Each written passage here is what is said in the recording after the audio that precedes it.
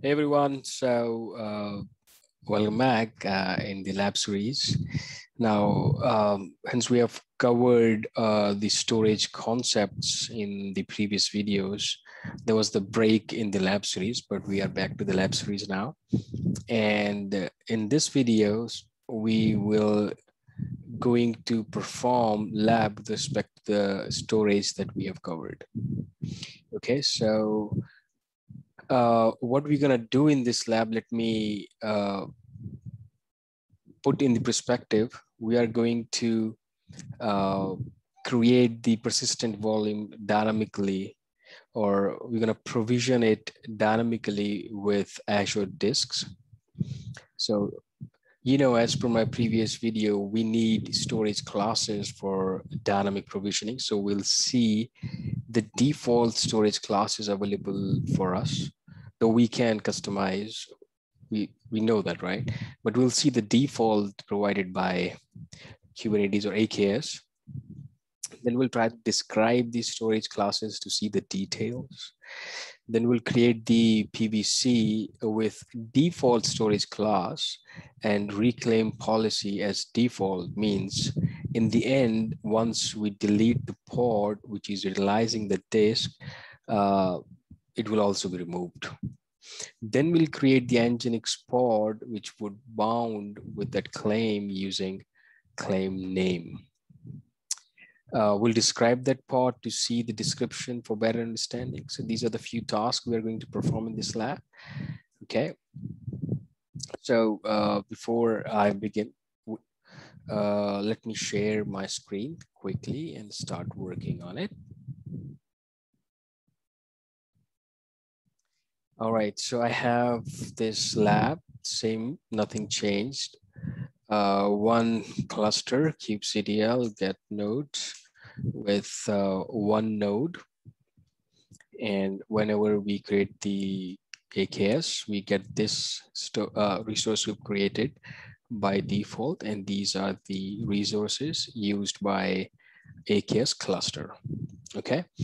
Uh, why I'm showing you this resource group because whatever we gonna provision as an Azure resource like Azure Disk, it will start showing here. And once we delete it, it will be removed from here automatically.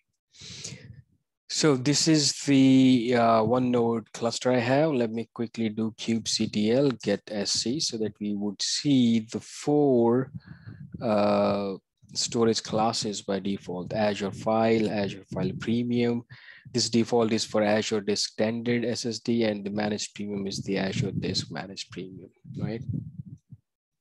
Let me try to kubectl describe sc default.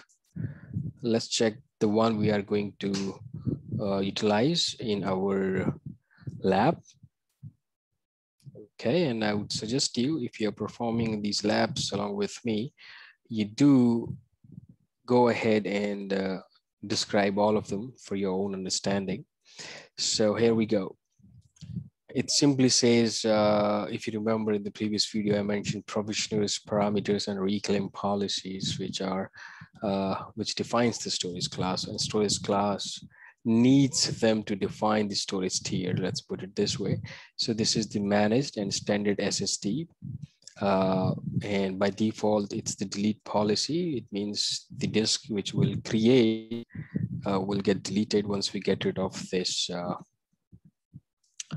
uh volume, which is using this SC to provision the disk, okay?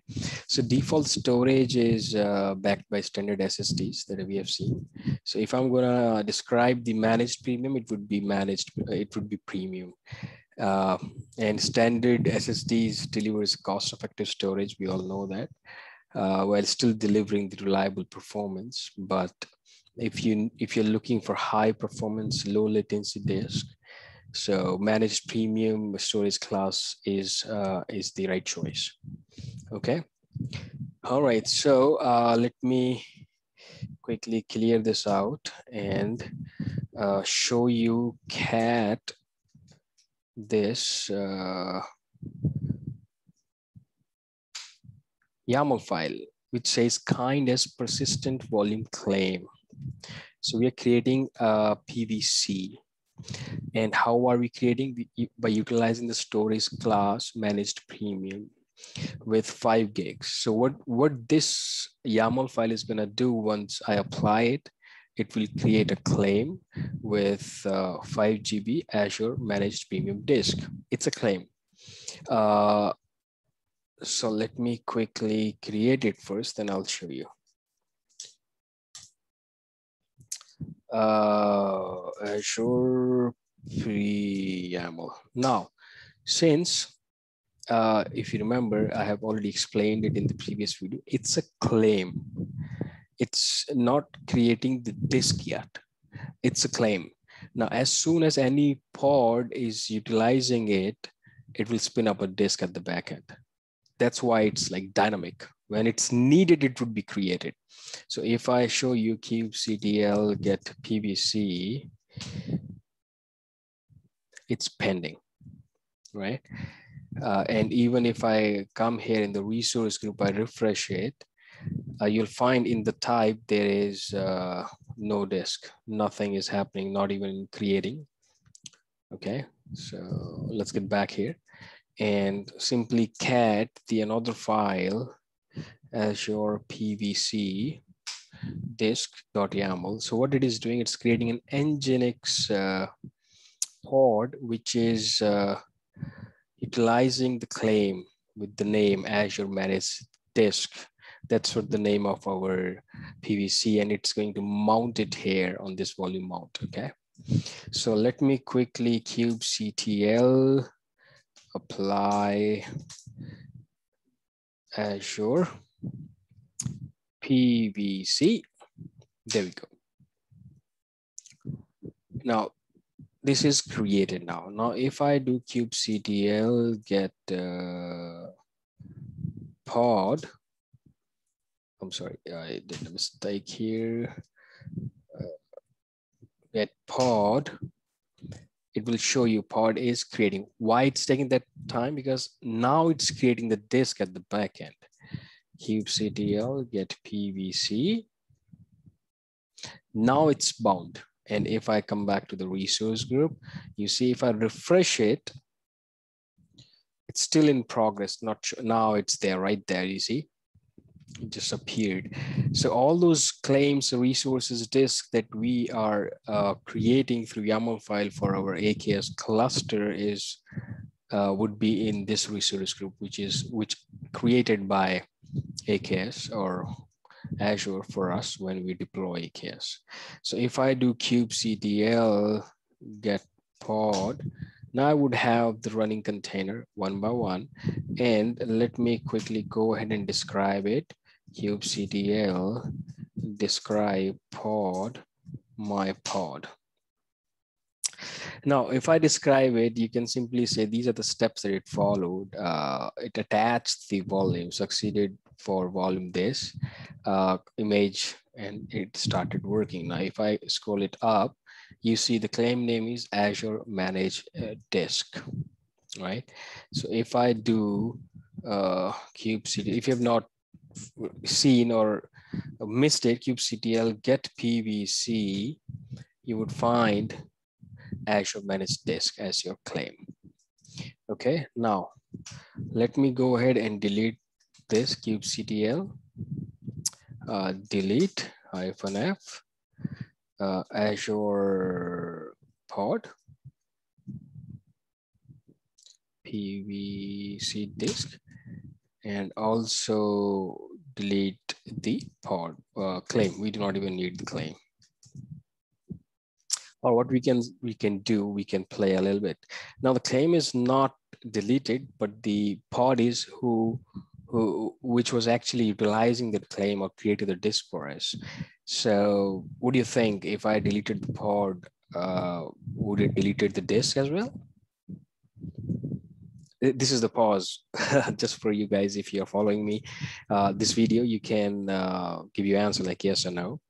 And we have the answer right here. If I refresh, you'll see disk is still there. So it's not gone yet. So let me delete this uh, claim. Now this would delete the uh, disk. What is happening? We need to give it a time and it will delete the disk. Uh, okay, so in this lab, uh, we have seen the uh, storage classes, all the four default storage classes, and we created the claim dynamically uh, uh, utilizing the storage class managed premium and use that claim in our uh, pod. And now I'm just waiting uh, for this disk to be removed from the resource group. And it's gone. See, so it's gone now. So I do not have uh, kubectl get PVC and I do not have pod, right? So once when we deleted these resources which were utilizing the disk, even disk get deleted because the reclaim policy was default. It gets deleted. If you want it to retain, you gotta use the policy as uh, reclaim. Uh, now in next video, what we're gonna do, we'll utilize, or we'll, we'll back up, let's put it this way, we'll back up this volume, the five gigs volume, and uh, how we do the, how we'll do the backup, we'll, we'll get the snapshot of the disk. Then we'll create the uh, disk out of the snapshot and utilize the disk URI uh, to uh, hook up with another pod and utilize the data. Sounds interesting. Yeah, for sure. So let's see that in the next video. Well, till then, thank you for watching and you have a good day. Bye-bye.